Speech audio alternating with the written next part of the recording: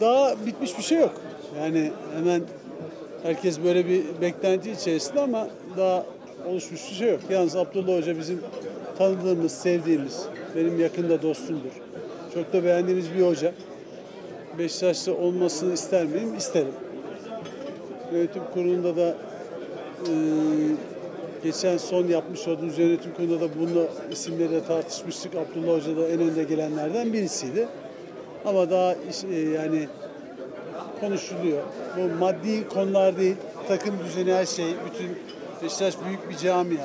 Onun hepsi içerisinde hocalık böyle bugünden yarına bitirmesi gerekli olan bir şey de değil.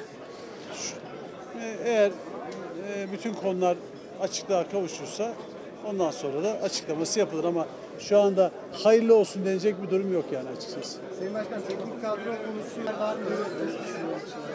Ya e, işte bu Beşiktaşlı isimler biz varız. Bak ben Beşiktaşlıyım. Mübariz Beşiktaşlı. Sayın Bakanım Beşiktaşlı. Hepimiz Beşiktaşlıyız. Bunu böyle Alaturkalaştırmanın da bir şeyi yok. E, daha o noktalara arkadaşlar konuşuyorlar. Gelince de açıklanır. Ama herkes netice itibariyle Beşiktaş için mücadele eden bir ekip. Öyle söylüyorum. Başkanım, e, Abdullah Hoca özellikle maddi konularda çok özverili yaklaşmış sanıyorum toplantılarda. Sizinle ilgili de söylemek Ben de bir görüşmesi olmadı. Ben zaten prensip itibariyle hocalarla, bozcularla para konuşmam. Hiçbir zaman konuşmadım. Ee, yöneticilerimiz yapıyor ama Abdullah Hoca'nın genel tavrı zaten mülayim.